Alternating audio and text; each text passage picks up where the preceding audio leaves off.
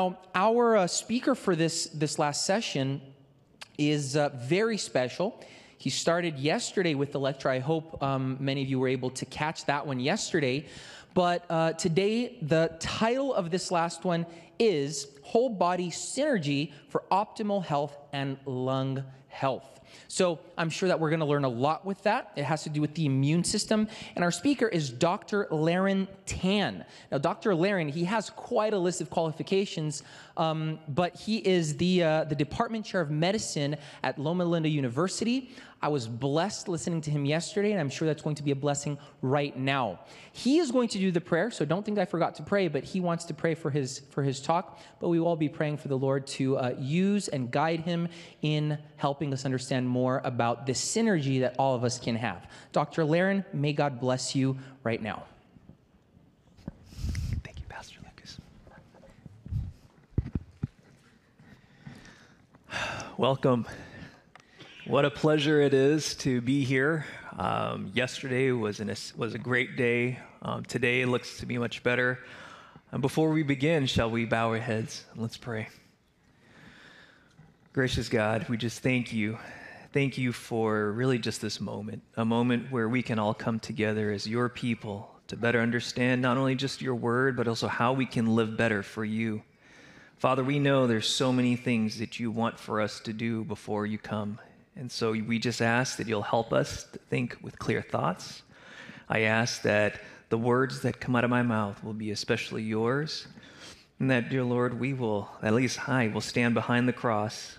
And that whatever is stated, that you will somehow touch someone out there to live a better life. We love you and we thank you. And everything we pray in Jesus' name. Amen.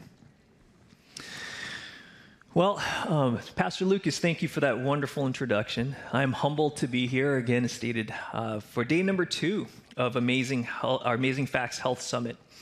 Uh, to be able to follow Dr. Binus is, is, is, fantastic. It was fantastic to also hear Dr. Neil Nedley, um, also Daniel and Jessica Vierra, and also, of course, Pastor Doug earlier today. Um, as stated, this is my second part. Um, it is really part of six key lifestyle practices. And I know earlier I stated about immunity, uh, and I'm sorry, I think that's actually a typo there. But what I will be talking about and focusing a little bit more is physical activity and exercise. And of course, you know that that does affect your immunity, right? And so let me move forward here and advance my slide. Uh, see if we can display. There we go.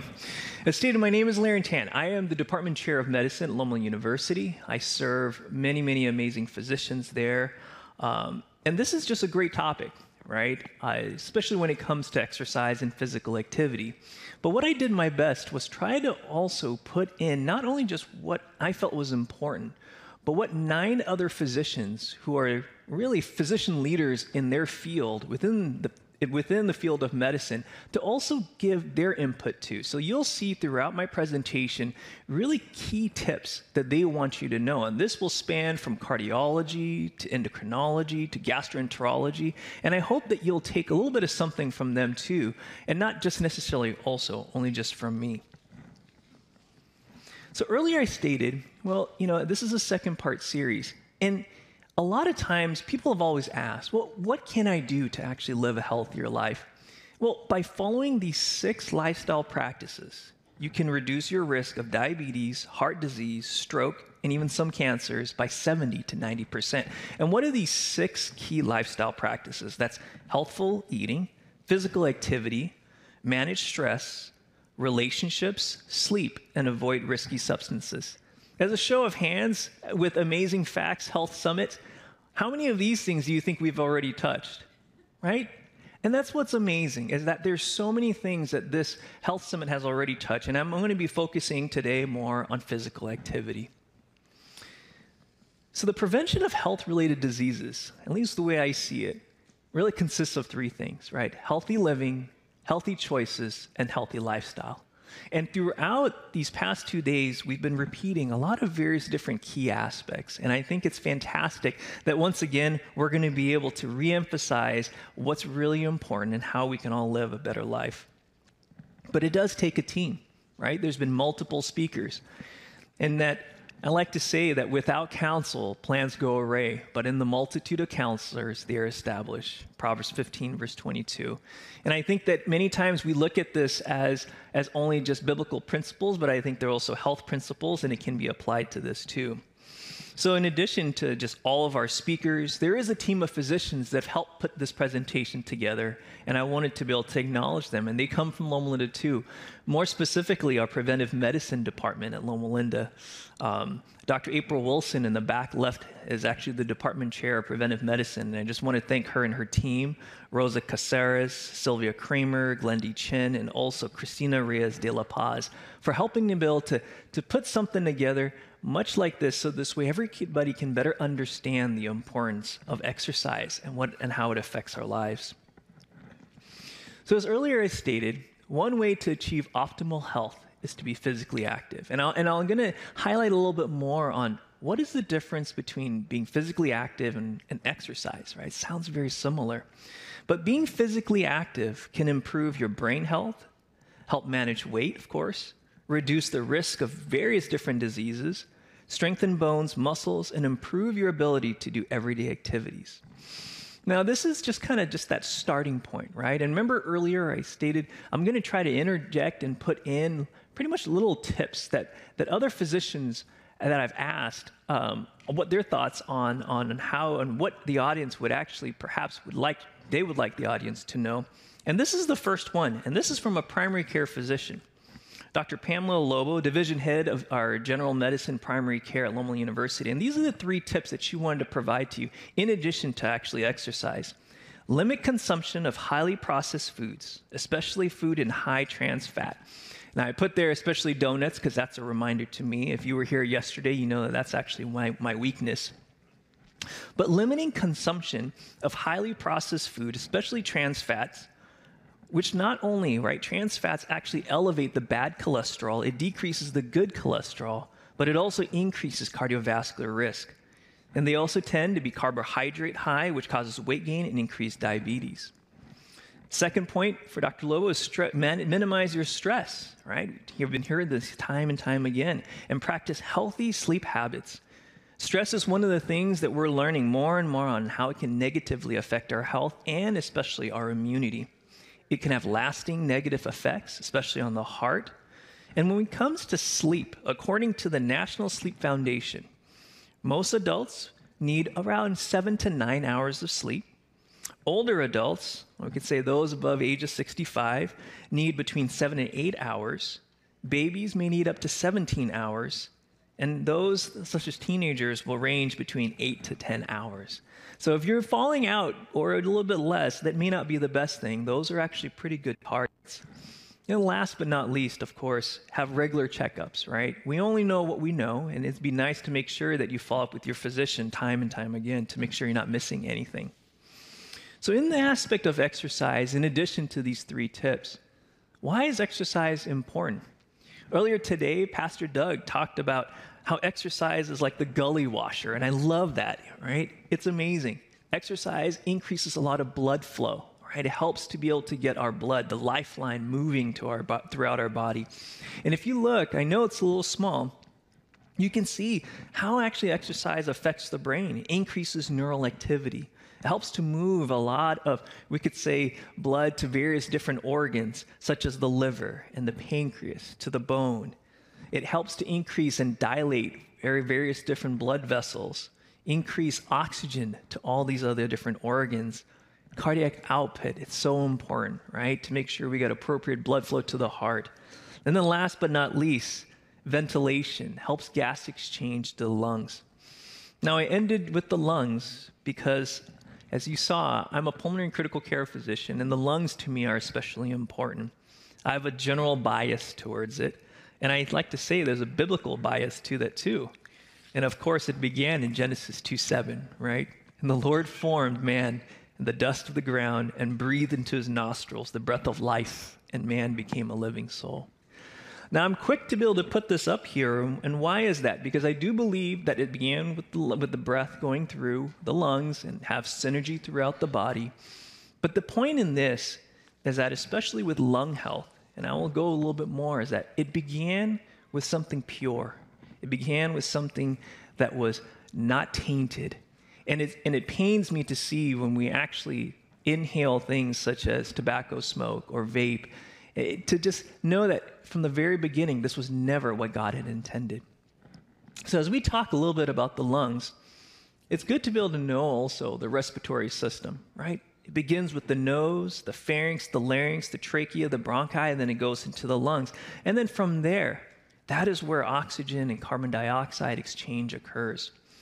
And I always like to begin with this in this sense because from here, things can then start to become systemic, right? This is where oxygen is given into the body, but without the heart to pump the oxygen to the rest of the various different organs, it's pointless.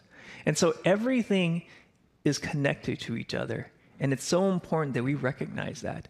And it's also very important that we recognize that fresh air is critical for lung health, exercise and eating healthy are also important. And how is that? When we exercise, we're strengthening the intercostal muscles, the muscles in between the ribs, the diaphragm. It helps us to be able to take in deeper breaths. You can imagine if we gain weight and we don't exercise enough, how the belly pushes up against the lung. It can make it harder to actually breathe when we're exerting ourselves. And then, of course, avoid smoking, right? You talked about that. Tobacco or vaping, participate in preventive health measures and, uh, and whenever I think about smoking and just really just eating principles, I can't help but think of this adage. And I know it's more in computer science and mathematics. And perhaps you can complete this for me. Garbage in, it's the same principle with a lot of things, whether that be breathing and just, just health in general. So, on this same vein, I'd like to be able to also share with you three tips to avoid life threatening infections. And you can imagine, at least during COVID, this is very key. So, this is Dr. Bryant Nguyen, Division Head of Pulmonary and Critical Care at Loma Linda. And he is actually internationally known for sepsis, a serious condition from infection. And COVID was a big cause of sepsis. And these are his, his tips, at least, to avoid life threatening infections. Lifestyle habits can decrease the likelihood of an infection. Practice good hygiene to avoid developing new infections. And of course, take good care of your chronic health problems and illnesses as they arise and stay up to date on vaccines. Aren't these previous tips fantastic? It does sound very similar to a lot of things that we've actually already been talking about. And that's the key, right? We've been talking about it, and more throughout my discussion, I'm going to actually going to provide some key principles on how to actually practice this moving forward, especially with staying active and exercise. But before that, we're going to do this. I know you've been sitting for quite some time. I know we just had a break. I'm a big believer in let's let's stand up. Let's stand up really quick. We're going to actually going to do this lung warm up and exercise. And on the screen is this called square breathing. And what we're going to do is we're going to take a deep breath in for 4 seconds and then we're going to hold our breath for 4 seconds. And then we're going to exhale out for four seconds. And then we're going to hold, you know, without taking another breath in for four seconds. Okay, so let's try doing that twice. And then we're going to go through some warm up exercises. Shall we? Join me. Take a deep breath in. Excellent. Hold for four. Now exhale out through your mouth. For, then hold for four. Let's try it again. Take a deep breath in for four. Hold for four. Exhale out for four. And we'll hold for four. Excellent. Okay, don't die on me there. But that exercise is perfect, right? What we're doing is we're opening up portions of our lungs that weren't open previously by taking deep breaths in. Now, while still standing, let's actually do a warm up. Let's raise our hands up.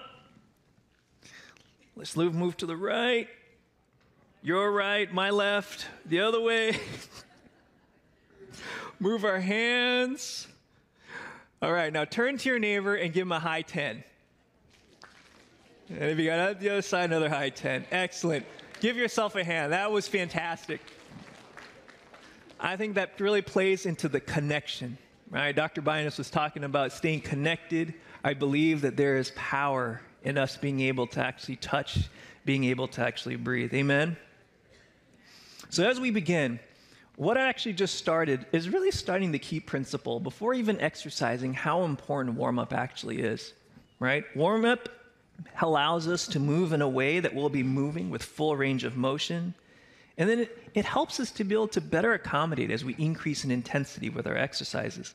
You want to keep it simple. A warm up should be simple. And so, for example, if you're going to do squats, you want to squat lighter. If you're going to run, run easier first as a warm up. If you're going to move, move a little bit easier before going to more aggressive movements. And then the thought is that whatever exercise that you're planning to do, whether that be a brisk walk or run, it's going to be different for each various different exercises. I, have met uh, someone here at church and says, I love doing tennis two to three times a day. You can see the warm up for that's going to be very different from perhaps soccer, from perhaps someone who's actually going to be weightlifting. Because the whole point is that we want to be able to minimize unintended injury before we actually exercise. And many times we ask, what is the most important exercise? You might ask yourself. And the, really, the key is the one that you will enjoy, perform consistently, and use to achieve your goals. For me, running is my exercise, right? I see it that when I run, I'm able to see new things. I'm able to, to be able, well, I mean, time of day and running in Loma Linda, sometimes it could be dangerous, but, you know, run, run where you're safe. I like the challenge. You want to be consistent, especially with running. And at least for me personally, the goal for running is, is really to, to, sweat and also for stress relief. And so for each person, try to be able to identify what is that goal, and it could be very helpful course, timing is very key too, right? And so, what is the guidelines for actually uh, for for exercising? And I know that the slide kind of got a little bit cut off, but as you will see at the top, for adults ages 18 to 64, at least 150 minutes a week of moderate intensity activity, such as a brisk walk. And the definition of moderate intensity, I will elaborate on further in, in, my, in, this, in this presentation.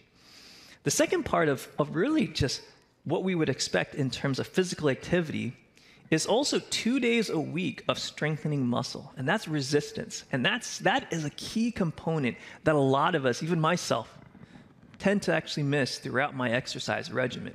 You need both. You need to be able to have this aerobic component and also this strengthening component. How about those? I know there's some in, in the crowd here that are of that are age 65 and older, and I don't know why the graphic showed that when you're 65 and older, there's a cane there. But there's, but I know, I, but there's an additional component. Pastor Doug doesn't walk with a cane, so you know that's a testimony. It's not true, right? But it is also 150 minutes a week, moderate activity again, such as brisk walking, two days a week of strengthening muscles but the third component that's very important for those that are over the age of 65 is this activity to improve balance, such as standing on one foot. How many in the crowd by show of hand know somebody that have actually broken their hip because they didn't have stability, right?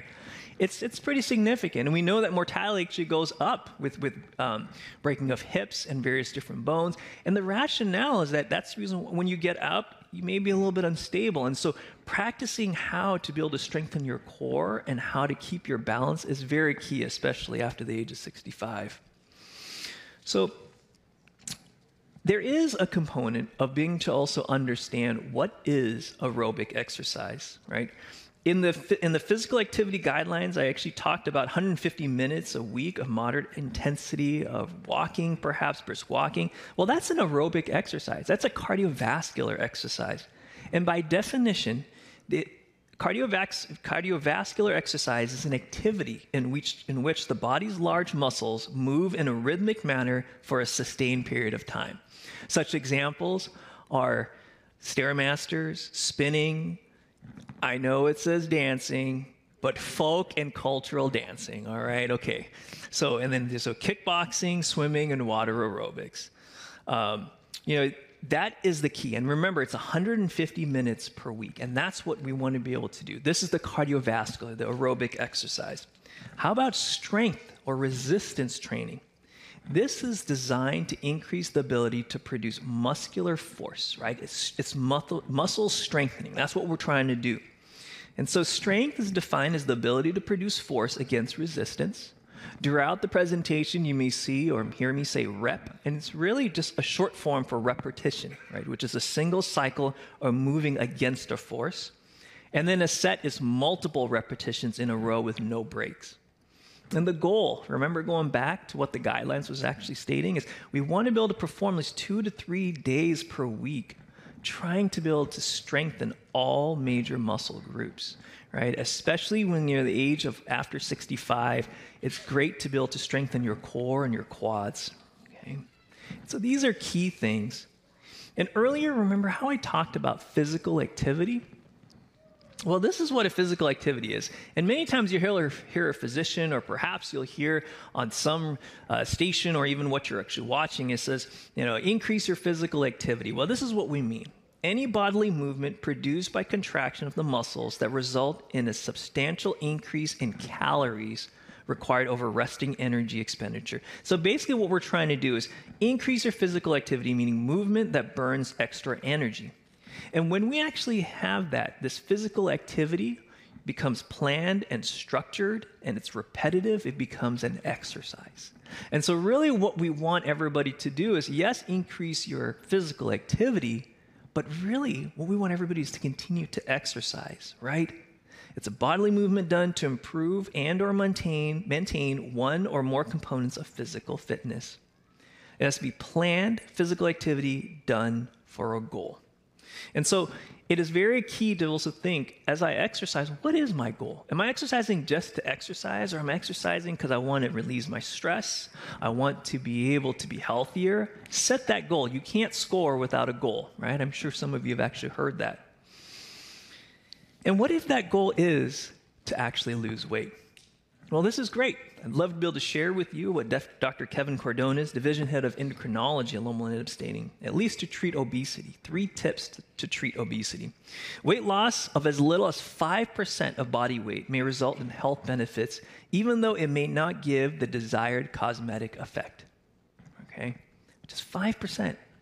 All obesity treatments should be based on sustainable lifestyle modification, which includes caloric reduction and increase physical activity. You're hearing that again, right? Even in ideal circumstances, lifestyle modification usually achieves weight loss about 5 to 7%.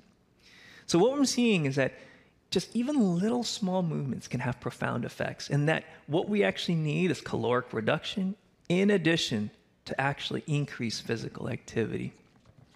And so, the increase in physical activity if we could actually just increase our physical activity or even just exercise, right, by 10%, by reducing inactivity, increasing our activity, we'll be able to actually decrease about half a million deaths per year. And I know the chart is small, but it shows that inactivity is really a big key component to a lot of various different problems that we're actually facing, even mental issues. This is a recent um, publication by JAMA Internal Medicine in 2022. And it showed that if every US adult increased physical activity by 10 minutes a day, we could actually prevent 100,000 deaths. You know, approximately 6.9% of annual deaths could be averted, and the greater benefits were associated with larger increases in physical activity. This similar benefit, and this is the key, I love this part, were observed for men, women, Mexican Americans, non Hispanic, black Americans, and non Hispanic white Americans. This is, this is something that we, I think, all can do, and this is something I feel that I can continue to also try to improve on too. Now, for some I know in the crowd, you may ask, but if I exercise, is it safe for me to exercise? And, and I think that there are some discussions that, that need to be had with your primary care physician or your healthcare professional. But for the most part, the risk is low and is outweighed by the benefits. Right? The dangers of physical inactivity far outweigh the risk of exercise in most people. Each additional hour of TV watch per day, the risk of mortality increases by 11%. Most recently, when I was looking online in Statistica, the good news is that in 2022, US adults spend an average of about three hours per day of watching TV three hours. In 2022, in 2020, I'm sorry, during COVID, it was up to as high as three and a half hours per day due to the pandemic. So while the numbers continue to, at least we say, go down, it is important, right? Nonetheless, that if we can continue to minimize, uh, even just watching TV, we could decrease the risk of dying. Additionally, there's, a, there's safety in cardiovascular exercise, right? How about if I'm exercising, I may have a bad heart? Without heart disease, one in 400,000 to 800, 400 to 800,000 hours of exercise will you actually have potentially that risk of a cardiac event. If you have a known heart disease, one in 62,000 hours of exercise, you potentially have, a, you could have a cardiac event. It is very, very slim. You know, earlier today, I think we had Dr. Schaffenberg, I believe, class of 48, right? 99 years old, came up to stage, and that was amazing. I want to share with you a story of Dr. Harvey Elder, class of 57, right? 90 years old, a retired physician at Loma Linda, who has been so instrumental and key in our spiritual care and continues to be a mentor to so many. But on January 9th, while he was walking at Drayson Center on the treadmill, he had a massive cardiac event. In fact, his heart stopped for five minutes. They were doing CPR continuously for five minutes. By God's grace, he was out of the hospital in two days. He was saved, and, and he will tell you the biggest, aside from the chest pain that he had, the most memorable thing that he said that was so profound to him was that he had a fourth year medical student pray for him. Right? Amen. Isn't that great? The mission is still strong. But the key and the point also is that Dr. Harvey Elder continued to exercise, and he told me, I'm going to go back and exercise some more. So I think there is, there is a testimony in that, that cardio events could, can happen, but I think it's very important that we continue to live a, a healthy lifestyle so we can actually more readily survive something like that. What are three tips from the head of cardiology, Dr. Anthony Hilliard at Loma Linda FSA? Slash added sugar. According to a more recent also publication in JAMA, researchers reported that people who, who at the, had the most sugar had a higher risk of death from heart disease, even if they weren't overweight. Right, he says, tame your stress. Dr. Dr. Hilliard says, tame your stress.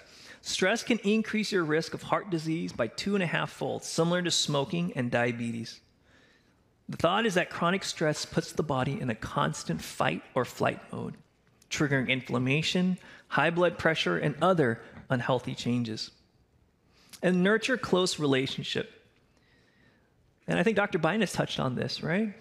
One study found that people who were socially isolated and lonely were more likely to have heart attack or stroke than people with strong networks. Now, I'm going to tell you at this point, I, I promised my children I'd do this. And so I thought it'd be great and, and just start with this. Why did the grape go out with the raisin? Anybody? Because it couldn't find a date. I've got 30 more minutes on stage. I, I promise you that's my last joke. So, moving onward. The safety of exercise again, right? Just to be able to provide more data on this. Resistance training, increased risk of acute musculoskeletal injury or exacerbation of chronic pain. What is the incidence of something like this? If you were doing bodybuilding, you had a chance of 0.12 to 0.7 injuries per lifter year, or 0.2 to 1 injury per 1,000 participation hours. How about walking? You're at risk of 0.19 injury per 1,000 participation hours. And if you're gardening, it was one injury per 1,000 participation hours. The whole point is that gardening is dangerous and you should not be doing gardening. What you should be doing is bodybuilding and walking. If not, if anything, maybe bodybuilding and walking while gardening, okay? Like, so just consider something like that. But I think it's just to highlight that really when done properly right we want to be able to make sure posture is correct make sure that you're you're not doing things harmfully that it's relatively safe. Exercising is extremely safe. How about joint health? Dr. Christina Downey, our division head of rheumatology, running and other physical activity isn't bad for your knees. Many times we hear this, and I think that there is some validity to that, depending upon the stress, the impact, also perhaps the shoes that you're actually wearing. It helps keeps the muscles and tendons which support your joints strong and healthy. Exercising prevents pain from muscle imbalances and keeps you active longer. And interestingly enough, I didn't show Dr. Downey about the guidelines and recommendations, but she too already states in addition to the 150 minutes of weekly aerobic exercise, include two days of strength training and finish every workout with flexibility and mobility exercises. And I think she highlights a great point, and that is the stretching component. Because many times, I don't know if you're you know, much like me, I'm, I'm pretty stiff, especially when I wake up in the morning. I can't catch my kids. This is a great pyramid in terms of how much exercise. At the very top, the least amount of things that you should be doing is watching TV, right? As we slowly start to come down, you can see that we start to increase the various different activities, whether that be aerobic exercise, um, perhaps recreational activities, cardiac activities, but really everyday activities such as walking and staying active, or perhaps even walking your dogs. You want to keep these things and keep building up, right? But minimize, of course, on things like watching TV. All of these things have profound effects, again, and systemically, it's very important because even exercise affects the liver and also the gut. This is what Dr. Michael Volk, division head of gastroenterology and hepatology, state. Three tips to maintain gastrointestinal and liver wellness. Exercise, of what we've been saying. And early on, I've told you with the amount of blood flow going through, as the liver is one of the major organs that actually filters a lot of harmful things in our body. Eat a healthy diet, and then be careful about what else you put in your body most specifically, especially alcohol and how it can affect the liver, right, and cause liver cirrhosis or liver failure. So going back to exercise and just recapping, you know, we've gone through this. We've we've already talked about the various different definitions between strength, a rep, and what a set and a goal actually is. And so I want to be able to highlight more on all muscle groups and the different type of movements that we can actually do. This is just some, right? A vertical push up. You've got horizontal push ups, hip hinges, vertical pull, horizontal pull, a squat. These are all things, and I think I'm going to call Dr. Uh, I'm going to actually call Pastor Doug to come on out to actually do these, but I, I don't think he's ready quite yet to do that. But the main point is to make sure that we're actually trying to hit the muscle groups such as our chest, our shoulders, our back, triceps, biceps, abs, thighs, hamstrings, and calves. And what does that actually look like? These are some examples. It's not all the examples, but these are some examples of how you can actually do this at home. I was intentional in just showing what we could do without weights, things that you could actually do just at home. I was debating whether or not we should do this earlier during our warm up, but I was afraid we would hit somebody unintentionally or intentionally um, and get hurt. But you can see top left what a vertical push could actually look like, right? The middle, top middle top would be horizontal push and how you can push against the wall and slowly walk your way down to strengthen your chest, your arms. The hip hinge, which is very important. Remember earlier we talked about guidelines and trying of those over the age of 65 to be able to strengthen the core and balance. A hip hinge would be a great exercise to be able to do. Vertical pull with a band. Um, a lot of times, vertical pull, we think about our pull ups, right? The horizontal pull is another way if we're not able to do a vertical pull, okay? And then, of course, squats. And it's great to be able to see that you can actually do squats with a chair, right? There's no need to do it against the wall. Um, there are a lot of great chair exercises uh, for those that are elderly, and, and they've got great videos, great tips, especially online, and I highly encourage people to do that. So, as we move forward, the next actually half of my presentation, I'm going to be talking a lot about really uh, the key components on how we can actually apply, not just me telling you, just exercise. These are the way to exercise. I want you to be able to actually think this through and really come up and formulate a plan to be able to better exercise. And so, frequency, right? How often are you active? Intensity, how hard are you going to be working out? Time, how long are you active? The type, what are you actually doing? Volume, the total amount of work, and then progression. So this fit dash VP is what I'm going to be going through in the next couple of minutes. And so let's see, let's start off with frequency. So a lot of times, especially, it's broken down between aerobic, and we'll, you'll see also those with resistance training. But with aerobic, you want to have one to seven sessions per week, right, to be able to continue to stay active. And we'll talk a little bit more on the intensity and the time because it could vary for each one of us.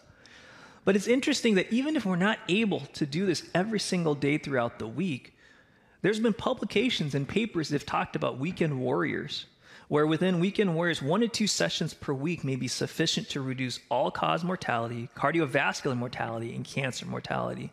So if you're not able to hit it throughout the week, try your best to maybe even just hit it during the weekend, right? Two to three full body sessions per week is definitely helpful. Multiple muscle group sessions per week is always encouraged, right? Because you want to hit all the muscles within your body, not let's say just working out your arms or your legs. And always give time for rest, right? Approximately 48 hours of rest between muscle group sessions. Uh, next slide here.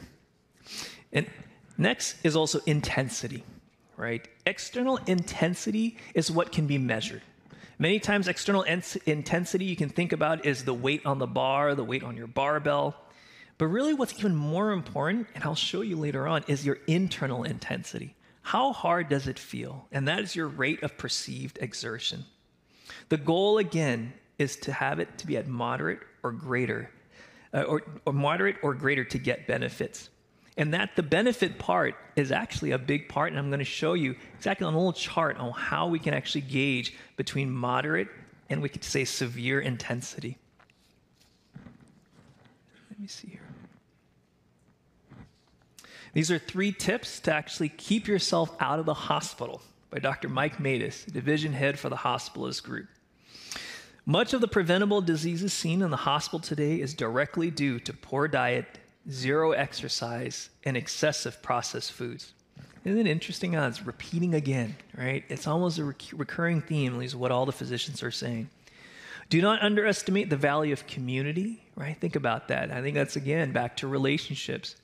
And do not ignore the nagging aspect of your health that has changed. And I think that's a great point because many times we have this self perception that everything is okay. Um, I'm doing fine. I'm, I'm doing all right. It's okay. I'll take care of this later.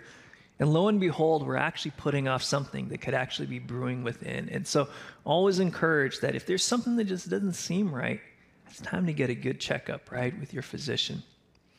And always having that gauge so, going back to moderate to intense activity, the rate of perceived exertion, if you can see on this chart, is really tends to be on the blue. Okay. And it's okay if, if you're not getting all of this. What I will say is that I'm going to have a couple of slides towards the end where I would say these are the key slides that you want to do, and this is how you want to move forward. Okay. But just bear with me. So, this week, there's a structured way to what I'm trying to present to you. So, within moderate, right, intensity, you can see that talk or sing, it doesn't allow you, you just, you're not able to actually sing in moderate or even vigorous activity, right? So if you're walking and you're not able to sing during that time, your, your, your rate of perceived exertion is a six to eight. That's moderate. If you're not able to talk when you're actually walking, that's vigorous. Similarly, you can think about how many more reps could I've actually done if you're doing strengthening? Because remember, we want to do the aerobic and we also want to do the resistance. And if you feel that, oh, I could have done maybe two more reps, then that would put you in the moderate category. But if you could actually do more, then it's less.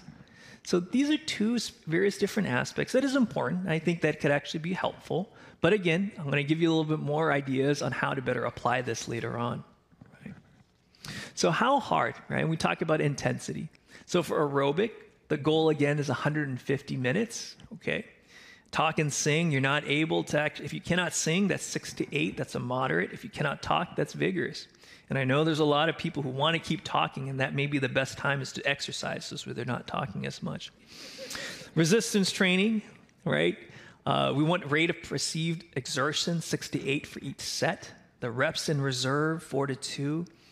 But as fitness improves, the external ex- intensity will need to change to keep internal intensity at the appropriate level. Basically, as we continue to gain more strength, we will start to notice that we'll need to add on more external intensity. Similarly, starting off, let's say, a five pound weight, we know that as time progresses, you're going to start to increase more to six, to seven, to eight, to nine. And that's really the goal.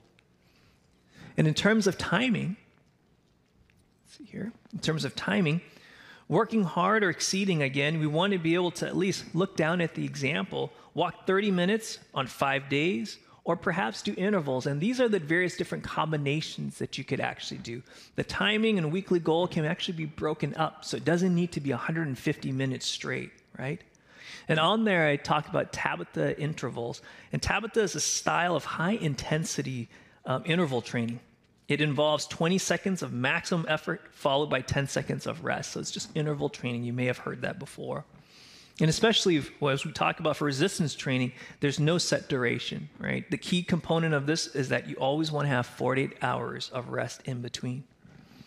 And there are various different types of exercises. let me see. Clicker is, I think I may be out of battery here, but uh, picture didn't show. But for aerobic exercise, you can really do whatever you want. It's blank there because either that be a brisk walk, speed walking, running, going upstairs, all these various different things are all great. And with resistance training, body weight, bands, machines, free weights. But the key component in this is compound exercises. Because compound exercises work multiple muscle groups at the same time. So, an example of compound exercise is like squats, right? When you do a squat, you're exercising your quads, your glutes, and your calves. Now, there's my. On volume, frequency, and time, right? You want to be able to have, again, a minimum of 150 minutes of moderate exercise. And you can actually do up to 75 minutes of vigorous exercise, or you can combine the two. And really, what we're trying to do is combine in the resistance side reps and sets, right? And the amount of exercises. The goal is to continue to be able to keep going up more and more and more. And you won't know how to go up until you actually measure it. And so, volume and knowing how many reps and sets are very key too, especially for resistance training ultimately, what we're heading for is progression, right? The ability to increase over time. And everything that I've been talking about and trying to be able to establish is for us to be able to safely go up. We induce a stress, we induce a point for our body to be able to get better and stronger, give it a moment of recovery, and then hit at it again. Time and time again. Because remember, the goal in this is a lifestyle change, right? We don't want to only do this just momentarily or just once. The rule of thumb is that you want to have less than 10% increase work per volume. I know that for myself, I like to just hit it hard, and sometimes when I hit it way too hard, that's when I actually get hurt. So little small movements is really little small increments is really what we're trying to hit, whether that be for cardiovascular training or even for resistance training. Right? An example for cardiovascular training is just adding one additional minute to each 10 minute exercise session that you're having. Similarly, in terms of distance, right, one tenth of a mile. For resistance, adding another rep or another set, adding a little, adding a little bit more on the weights. But you want to be slow. Don't hit it too hard, right? Because again, remember, progression is something that is in the long run of things, right? It's not short. We want to be able to make sure that we're safe and we can keep continuing to keep doing it. So, external intensity, I'm going to go straight to the second bullet point. And external intensity will change automatically over time if maintaining a constant internal intensity, meaning becoming it, things start to become easier when we swim, bike, run at the same speed with time. You will start to feel that, man, I can go further, I can go faster. And then you start to increase a little bit more in terms of your internal intensity. And as just by default, your external intensity will also go up too. How do we actually apply this in terms of, let's say, a prescription for exercise, right? This is one of those slides that if that I wanted, if you take home, this would be one of them, and I got another one a little bit later. And really, for aerobic exercise, what you want to do is start with something enjoyable, right? Something that you can easily accomplish, whether that be walking down the street, walking around the block. Start off with that first and then slowly start to add increments, right? Maybe the next thing would be walking down to the end of, of I don't know, the corner or church, just something like that. But you want to keep a goal in mind, right? So, and I think to the right of that, you can see the various different examples walking five minutes every day and add one minute each week. Four months, walking 24 minutes a day. And of course, when it comes to folk dancing or cultural dancing, you could add different various different songs. But linear progression, the key for this is that as we progress, sooner or later we will plateau. Okay, and that is when we'll need to add on various different exercises to achieve the next level. Like a lot of things in life, expect a setback. All right, there could be setbacks from injuries. And the goal is not to worsen the symptoms if you do you have an injury, right? We want to be able to take some time, take some time to rest, 24 to 48 hours to, after your exercise. Don't panic, right? They say motion is lotion, and that actually applies to really stretching. I mean, right now I got a kink in my neck because I don't think I actually stretched out very well. But it's a prime example, right? That stretching is so key. And then, of course, modify, right? If you were lifting too hard and you perhaps are sore, well, then maybe you shouldn't hit it so hard. And you can just modify your range of motion, your intensity, the volume, type of exercise. And obviously, if it just continues to happen, seek medical advice. The key is this is what I think, what I want to be able to show everybody. This is actually Karen and Pastor Doug that I took a picture of when they were at the gym. Okay, so maybe not, but it's not too late. It's never too late for us to be able to exercise, whether that be aerobic or strengthening. But the key is that we also we just need both, right? It's not just one. I also wanted to add on these are three tips to keep healthy and prevent infections. Infections is key, especially to Dr. Veltman, their division head for infectious diseases. Keep up to date on immunizations, control your sugars, and this is a component that I think not a lot of us actually are aware of that sexually transmitted diseases are on the rise. And we're encouraging everybody to talk to your physicians or reduce that risk. And why is that? Because after COVID 19, we've seen STDs starting to increase. And there may be some that are actually watching, and this actually could be applicable.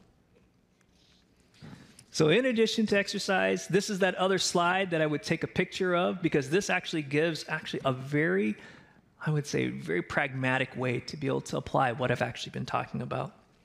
For aerobic exercises, I will walk for 10 minutes at a pace where I can talk but not sing on five days of the week. I will add one minute to each day every week until I'm doing at least 150 minutes per week. And that gives you everything right there your frequency, your intensity, time, the type, volume, and progression.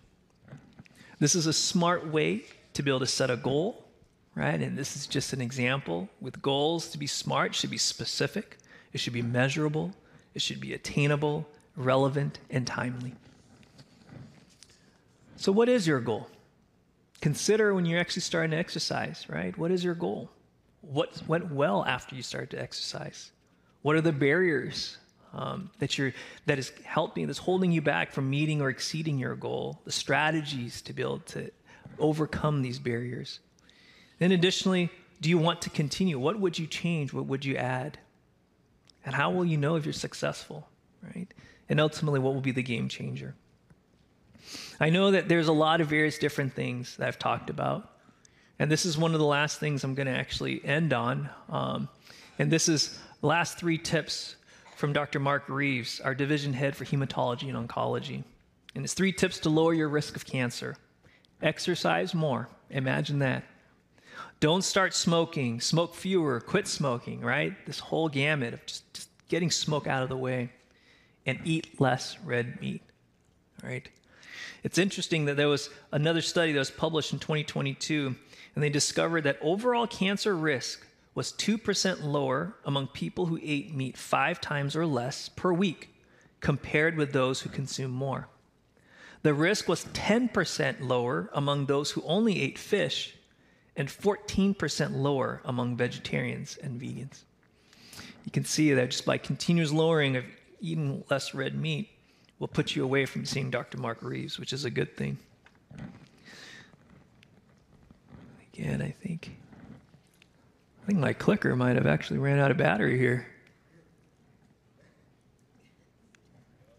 Well, I, I, I guess so. I mean, it's like I, I don't know if, anybody can help me out with that, but I will end with this.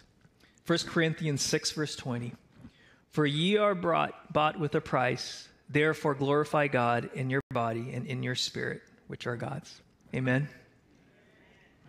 And with that, I think I can just end with prayer, or let's bow our heads, shall we? Father God, I thank you for this time. Thank you that together as a church we can continue to worship you.